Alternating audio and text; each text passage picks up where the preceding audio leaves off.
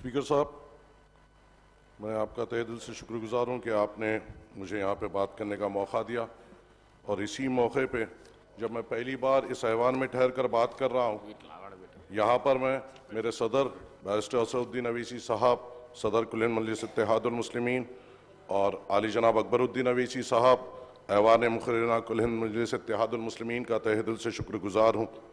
और इस ऐवान के ज़रिए से नामपल्ली की गयूर अवाम का भी शुक्रगुजार हूँ, जिन्होंने मजलिस इत्तेहादुलमुस्लिमीन के नुमाइंदे को नामपल्ली से चुनकर इस ऐवान में भेजा।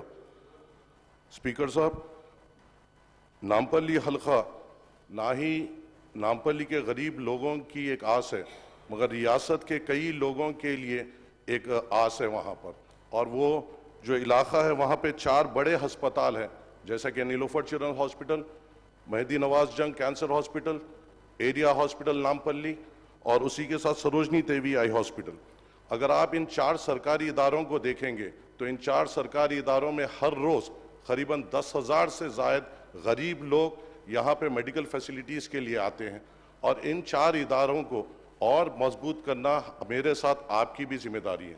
इसलिए यहाँ पे जो रिक्वायरमेंट्स हैं, वो आपके सामने मैं रखना चाहता हूँ। हर एक तीनों ये चारों इदारों में मेंटेनेंस की सख्त ज़रूरत है। नीलोफर हॉस्पिटल में ख़ास तौर से 1.5 टेस्ला एमआरआई स्कैनर की बेइंतहा ज़रूरत है। वैसे ही नामपल्ली एरिया हॉस्पिटल में हर एक इदारे में कई इक्विपमेंट्स की ज़रूरत है जो गवर्नमेंट के पास एक डिटेल प्लान है। M N J cancer hospital है और सरोजनी देवी आई हॉस्पिटल में ख़ास तौर से एक आउटपोस्ट और वहाँ के सिक्योरिटी को रिवैम करने की ज़रूरत है। मैं आपके ज़रिए से, हुकूमत से ये मांग करता हूँ कि इन चार इदारों पे फौरी तौर पे एक मीटिंग बुलाई जाए और इन चार इदारों को और बेहतर करने के लिए इमीडिएट एक मीटिंग कॉल की जाए।